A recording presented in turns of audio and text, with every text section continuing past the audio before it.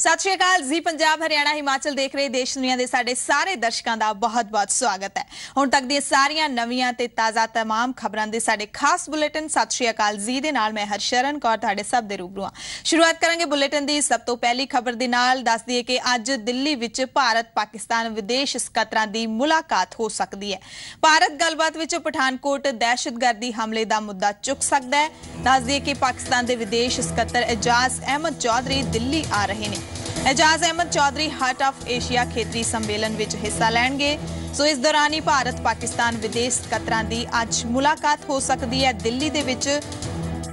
ਸੰਭਵ ਹੈ ਕਿ ਭਾਰਤ ਵੱਲੋਂ ਪਠਾਨਕੋਟ ਦਹਿਸ਼ਤਗਰਦੀ ਹਮਲੇ ਦਾ ਮੁੱਦਾ ਚੁੱਕਿਆ ਜਾ ਸਕਦਾ ਹੈ ਇਜਾਜ਼ ਅਹਿਮਦ ਚੌਧਰੀ ਪਾਕਿਸਤਾਨ ਦੇ ਵਿਦੇਸ਼ ਸਕੱਤਰ ਨੇ ਉਹ ਦਿੱਲੀ ਆ ਰਹੇ ਨੇ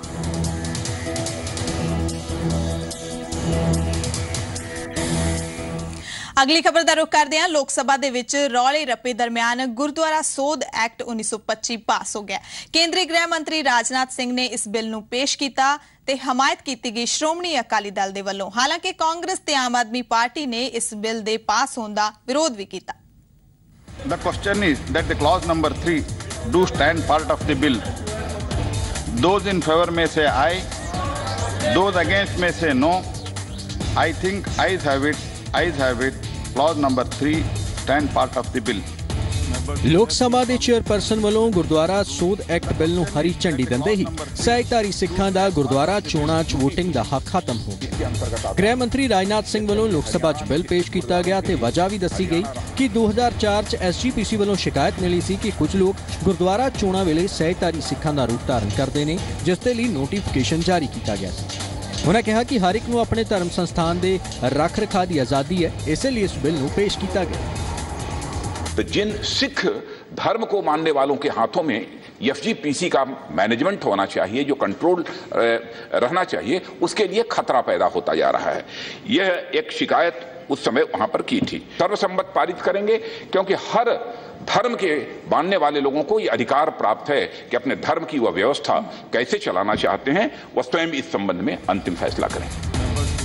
ਇਸ ਤੋਂ ਪਹਿਲਾਂ ਰਾਜ ਸਭਾ ਵਿੱਚ ਬਿੱਲ ਪਾਸ ਹੋਇਆ ਸੀ ਜਿੱਥੇ ਕਾਂਗਰਸ ਨੇ ਬਿੱਲ ਦੀ ਹਮਾਇਤ ਕੀਤੀ ਸੀ ਪਰ ਲੋਕ ਸਭਾ 'ਚ ਕਾਂਗਰਸ ਇਸ ਬਿੱਲ ਦੀ ਮੁਖਾਲਫਤ ਕਰ ਰਹੀ ਹੈ ਹੁਣ ਇਹ ਬਿੱਲ ਰਾਸ਼ਟਰਪਤੀ ਕੋਲ ਜਾਵੇਗਾ ਉਹਨਾਂ ਦੇ ਸਹੀ ਪਾਉਂਦੇ ਹੀ ਬਿੱਲ ਕਾਨੂੰਨ ਦਾ ਰੂਪ ਅਖਤਿਆਰ ਕਰ ਲੇਗਾ ਇਸ ਮਸਲੇ ਤੇ ਪਹਿਲਾਂ ਹੀ ਸਰਵਉੱਚ ਅਦਾਲਤ 'ਚ ਸੁਣਵਾਈ ਹੋ ਰਹੀ ਹੈ, ਕਿਉਂਕਿ ਹਾਈ ਕੋਰਟ ਨੇ ਸਹਿਕਾਰੀ ਸਿੱਖਾਂ ਦੇ ਹੱਕ 'ਚ ਫੈਸਲਾ ਦਿੱਤਾ ਸੀ ਤੇ ਹਾਈ ਕੋਰਟ ਦੇ ਹੁਕਮਾਂ ਨੂੰ ਚੁਣੌਤੀ ਦਿੰਦੇ ਹੋਏ ਐਸਜੀਪੀਸੀ ਵੱਲੋਂ ਸੁਪਰੀਮ ਕੋਰਟ ਦਾ ਰੁਖ ਕੀਤਾ ਗਿਆ ਸੀ।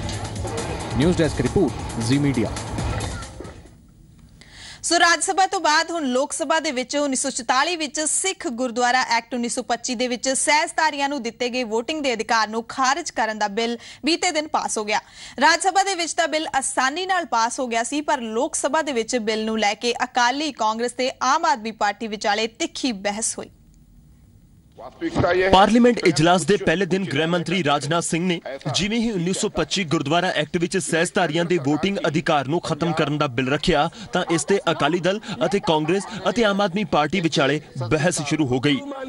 ਅਕਾਲੀ ਦਲ ਵੱਲੋਂ ਬਿੱਲ ਦਾ ਸਮਰਥਨ ਕੀਤਾ ਗਿਆ ਅਤੇ ਕੇਂਦਰੀ ਮੰਤਰੀ ਹਰਸਿਮਰਤ ਕੌਰ ਬਾਦਲ ਨੇ ਇਸ ਤੇ ਬੋਲਦੇ ਹੋਏ ਕਿਹਾ ਕਿ ਸਿੱਖ ਭਾਈਚਾਰੇ ਨੂੰ ਆਪਣੇ ਗੁਰੂ ਧਾਮਾਂ ਦੀ ਸੇਵਾ ਸੰਭਾਲਣ ਦਾ ਅਧਿਕਾਰ ਹੈ ਅਤੇ 1944 ਵਿੱਚ ਸਾਜ਼ਿਸ਼ ਦੇ ਤਹਿਤ ਇਸ ਵਿੱਚ ਤਬਦੀਲੀ ਕੀਤੀ ਗਈ ਸੀ। ਉਧਰ ਰਾਜ ਸਭਾ ਵਿੱਚ ਇਸ ਬਿੱਲ ਦਾ ਸਮਰਥਨ ਕਰਨ ਵਾਲੀ ਕਾਂਗਰਸ ਨੇ ਲੋਕ ਸਭਾ ਵਿੱਚ ਇਸ ਬਿੱਲ ਦਾ ਵਿਰੋਧ ਕੀਤਾ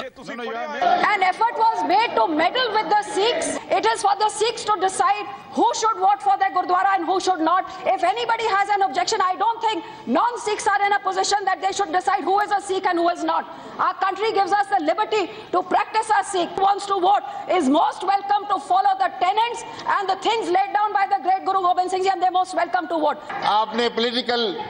फ़ायदे के लिए आप ये बिल ला रहे हो। क्योंकि ताकि आपका गुरुद्वारों पे आपका गुरुद्वारों पे जो राज चले आप मिनोरिटी की बात करते हो। आप मिनोरिटी में एक सब मिनोरिटी क्रिएट करना चाहते हो आप सब मिनोरिटी क्रिएट करना चाहते हो सत्तर लाख लोग ਉਧਰ ਆਮ ਆਦਮੀ ਪਾਰਟੀ ਵੱਲੋਂ ਭਗਵੰਤ ਮਾਨ ਨੇ ਸਿੱਖ ਗੁਰਦੁਆਰਾ ਐਕਟ ਤੇ ਆਪਣੀ ਪਾਰਟੀ ਦਾ ਪੱਖ ਰੱਖਿਆ ਭਗਵੰਤ ਮਾਨ ਨੇ ਬਿੱਲ ਦਾ ਵਿਰੋਧ ਕਰਦੇ ਹੋਏ ਅਕਾਲੀ ਦਲ ਤੇ ਬਿੱਲ ਨੂੰ ਲਿਆਉਣ ਤੇ ਸਵਾਲ ਖੜੇ ਕੀਤੇ ਉਧਰ ਬੀਜੇਪੀ ਵੱਲੋਂ ਇਸ ਬਿੱਲ ਤੇ ਮੀਨਾਕਸ਼ੀ ਲੇਖੀ ਨੇ ਆਪਣੀ ਪਾਰਟੀ ਦਾ ਪੱਖ ਰੱਖਿਆ ਮੀਨਾਕਸ਼ੀ ਲੇਖੀ ਨੇ ਕਿਹਾ ਕਿ ਵਿਰੋਧੀ ਧਿਰ ਬਿੱਲ ਨੂੰ ਗਲਤ ਤਰੀਕੇ ਨਾਲ ਪੇਸ਼ ਕਰਦੇ ਹੋਏ ਇਸ ਦਾ ਵਿਰੋਧ ਕਰ ਰਿਹਾ ਹੈ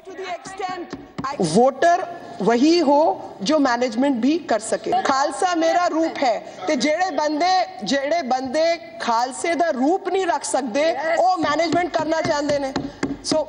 I am supporting this particular enactment only on the base of one particular statement. जब हम माथा टेकने जाते हैं तब कोई मना नहीं करता। वोट नहीं कर सकते हम। वोट क्यों नहीं कर सकते? मैं इस बिल का विरोध करता हूँ। मैं चाहता हूँ जो गुरु ग्रंथ साहब को गुरु मानते हैं जो हर रोज गुरुद्वारा सामने माथा टेकने जाते हैं उन सबको हक होना चाहिए। ਲੋਕ ਸਭਾ ਵਿੱਚ ਇਸ ਬਿੱਲ ਦਾ ਬੀਜੇਡੀ ਟੀਆਰਐਸ ਵਰਗੀਆਂ ਖੇਤਰੀ ਪਾਰਟੀਆਂ ਨੇ ਵੀ ਸਮਰਥਨ ਕੀਤਾ। ਫਿਲਹਾਲ ਲੋਕ ਸਭਾ 'ਚ ਮੋਹਰ ਲੱਗਣ ਦੇ ਨਾਲ ਹੀ ਲੰਮੇ ਸਮੇਂ ਤੋਂ ਭਖੇ ਇਸ ਵਿਵਾਦ ਦੇ ਕਿਸੇ ਤਣ ਪੱਤਣ ਲੱਗਣ ਦੀ ਉਮੀਦ ਬਣੀ ਹੈ। ਨਾਲ ਹੀ ਸਿੱਖ ਕੌਮ ਵਿੱਚ ਖੜੀ ਹੋਈ ਇੱਕ ਵੱਡੀ ਦੁਬਿਧਾ ਵੀ ਮੁਲਕ ਦੀ ਪਾਰਲੀਮੈਂਟ 'ਚ ਮਿਲੀ ਇਸ ਹਰੀ ਝੰਡੀ ਨਾਲ ਦੂਰ ਹੋਵੇਗੀ। News desk report, Zee Media. ਸੋ ਰੌਲੇ ਰੱਪੇ ਦੇ ਦਰਮਿਆਨ ਲੋਕ ਸਭਾ ਦੇ ਵਿੱਚ ਇਹ ਬਿੱਲ ਬੀਤੇ ਦਿਨ ਪਾਸ ਹੋ ਹੀ ਗਿਆ। ਜੇ ਸੂਬੇ ਦੇ ਮੁੱਖ ਮੰਤਰੀ ਪ੍ਰਕਾਸ਼ ਸਿੰਘ ਬਾਦਲ ਦੀ ਗੱਲ ਕਰੀਏ ਤਾਂ ਉਹਨਾਂ ਨੇ ਲੋਕ ਸਭਾ ਦੇ ਵਿੱਚ ਬਿੱਲ ਪਾਸ ਹੋਣ ਤੇ ਖੁਸ਼ੀ ਜ਼ਾਹਿਰ ਕੀਤੀ ਹੈ। ਅਸੀਂ ਉਹ ਤਾਂ ਹੋ- ਹੋਣਾ ਹੀ ਸੀ। ਬਹੁਤ ਧੰਨਵਾਦ ਕਰਦੇ ਹਾਂ ਸਾਰੇ ਪਾਰਲੀਮੈਂਟ ਦਾ ਵੀ। ਲੋਕ ਸਭਾ ਰਾਜ ਸਭਾ ਪ੍ਰਧਾਨ ਮੰਤਰੀ ਜੀ ਦਾ। ਸੋ ਇਸ ਬਿੱਲ ਦੇ ਪਾਸ ਹੋਣ ਦੇ ਨਾਲ ਹੁਣ ਸਹਿਜਧਾਰੀ ਸਿੱਖਾਂ ਦਾ ਐਸਜੀਪੀਸੀ ਵਿੱਚ VOTING ਕਰਨ ਦਾ ਅਧਿਕਾਰ ਖਤਮ ਹੋ ਗਿਆ ਤੇ ਸਹਿਜਧਾਰੀ ਸਿੱਖ ਫੈਡਰੇਸ਼ਨ ਮੁਖੀ ਪਰਮਜੀਤ ਸਿੰਘ ਰਾਣੂ ਨੇ ਲੋਕ ਸਭਾ ਵਿੱਚ ਪਾਸ ਹੋਏ ਇਸ ਬਿੱਲ ਨੂੰ ਲੈ ਕੇ ਕਈ ਸਵਾਲ ਚੁੱਕੇ ਨੇ ਤੇ ਕਿਹਾ ਕਿ ਫੈਸਲਾ ਸਿੱਖ ਭਾਈਚਾਰੇ ਨੂੰ ਵੰਡਣ ਵਾਲਾ ਹੈ ਤੇ ਅਦਾਲਤ ਵਿੱਚ ਆਪਣੀ ਕਾਨੂੰਨੀ ਲੜਾਈ ਉਹ ਲੜਦੇ ਰਹਿਣਗੇ। ਇਹ ਬਿੱਲ ਜਿਹੜਾ ਹੈਗਾ, ਇਸ ਇੰਪੋਰਟੈਂਟ ਗੱਲ ਇਹ ਹੈ ਕਿ ਇਹਨੂੰ ਰੈਟਰੋਸਪੈਕਟਿਵਲੀ 2003 ਤੋਂ ਲਾਗੂ ਕੀਤਾ ਗਿਆ ਜਿਸ ਦੇ ਨਾਲ ਸ਼੍ਰੋਮਣੀ ਅਕਾਲੀ ਦਲ ਨੇ ਆਪਣੇ ਡੈੱਡ ਹਾਊਸ ਨੂੰ ਰਿਵਾਈਵ ਕਰਨ ਦੀ ਕੋਸ਼ਿਸ਼ ਕੀਤੀ ਹੈ ਔਰ 2011 ਦੀ ਆਪਣੀ ਇਲੈਕਸ਼ਨ ਨੂੰ ਰਿਵਾਈਵ ਕਰਨ ਦੀ ਕੋਸ਼ਿਸ਼ ਕੀਤੀ ਹੈ। ਹਾਲੇ ਇਹ ਮਾਮਲਾ ਜਿਹੜਾ ਹੈਗਾ, ਇਹ ਸੁਪਰੀਮ ਕੋਰਟ ਵਿੱਚ ਪੈਂਡਿੰਗ ਹੈ ਔਰ ਉੱਥੇ ਇਹਦੇ ਤੇ ਬਹਿਸ ਹੋਏਗੀ ਬਕਾਇਦਾ ਔਰ ਅਸੀਂ ਉਮੀਦ ਕਰਦੇ ਹਾਂ ਕਿ ਸਾਨੂੰ ਉੱਥੇ ਵੀ ਇਨਸਾਫ ਮਿਲੇਗਾ। ਨੰਬਰ 2 ਅਗਰ ਜ਼ਰੂਰਤ ਪਈ, ਅਸੀਂ ਫਰੈਸ਼ ਇਹਦੇ ਤੇ ਜਿਹੜੀ ਪਟੀਸ਼ਨ ਵੀ ਮੂਵ ਕਰ ਸਕਦੇ ਇਸ ਬਿੱਲ ਦੇ ਨਾਲ ਸਿੱਖ ਮਿਨੋਰਿਟੀ ਜਿਹੜੀ ਹੈ ਉਹ ਡਿਵਾਈਡ ਹੋ ਰਹੀ ਹੈ। 70 ਲੱਖ ਸਿੱਖ ਜਿਹੜੇ ਨੇ ਉਹ ਇਸ ਦੇ ਨਾਲ ਇਫੈਕਟ ਹੋਣਗੇ। ਪੌਣੇ 2 ਕਰੋੜ ਸਿੱਖ ਆਬਾਦੀ ਹੈ। 2011 ਦੀ ਸੈਂਸਸ ਰਿਪੋਰਟ ਅਕੋਰਡਿੰਗ, ਜਿਹਦੇ ਚੋਂ 55 ਲੱਖ ਸਿੱਖ ਵੋਟਰ ਐਨਰੋਲ ਹੋਏ ਸੀ ਪਿਛਲੀ ਵਾਰ ਔਰ 50 ਲੱਖ ਨਾਬਾਲਿਗ ਕੱਢ ਦਈਏ ਤਾਂ 70 ਲੱਖ ਸਿੱਖ ਉਹ ਨੇ ਜਿਹੜੇ ਸੈਂਸਸ ਰਿਪੋਰਟ ਅਕੋਰਡਿੰਗ ਸਿੱਖ ਨੇ, ਪਰ ਉਹਨਾਂ ਨੂੰ ਐਸਜੀਪੀਸੀ ਸਿੱਖ ਨਹੀਂ ਮੰਨਦੀ। ਅੱਜ ਇਹ ਜਿਹੜਾ ਫੈਸਲਾ ਕੀਤਾ ਗਿਆ ਹੈਗਾ, ਇਹ ਫੈਸਲਾ ਅਸੀਂ ਇਹ ਕਵਾਂਗੇ ਆਪਣੀ ਪਾਰਟੀ ਵੱਲੋਂ ਸਹਿਜਤਰੀ ਸਿੱਖ ਪਾਰਟੀ ਵੱਲੋਂ ਕਿ ਇਹ ਆਰਐਸਐਸ ਦਾ ਏਜੰਡਾ ਸੀ, ਜਿਹਨੂੰ ਬੀਜੇਪੀ ਨੇ ਬਾਖੂਬੀ ਸ਼੍ਰੋਮਣੀ ਅਕਾਲੀ ਦਲ ਦੇ ਥਰੂ ਇੰਪਲੀਮੈਂਟ ਕਰ ਦਿੱਤਾ ਹੈਗਾ। ਸੋ ਰਾਜ ਸਭਾ ਦੇ ਨਾਲ ਨਾਲ ਲੋਕ ਸਭਾ ਵਿੱਚ ਵੀ ਗੁਰਦੁਆਰਾ ਸੋਧ ਐਕਟ 1925 ਨੂੰ ਮਨਜ਼ੂਰੀ ਮਿਲ ਗਈ ਹੈ ਤੇ ਹੁਣ ਰਾਸ਼ਟਰਪਤੀ ਦੀ ਸਹੀ ਤੋਂ ਬਾਅਦ ਇਹ ਬਿੱਲ ਕਾਨੂੰਨ ਬਣ ਜਾਵੇਗਾ। ਪਰ ਇਸ ਪੂਰੇ ਮਾਮਲੇ ਦਾ ਪਿਛੋਕੜ ਕੀ ਹੈ, ਇਸ ਤੇ ਇੱਕ ਨਜ਼ਰ ਪਾ ਲੈਂਦੇ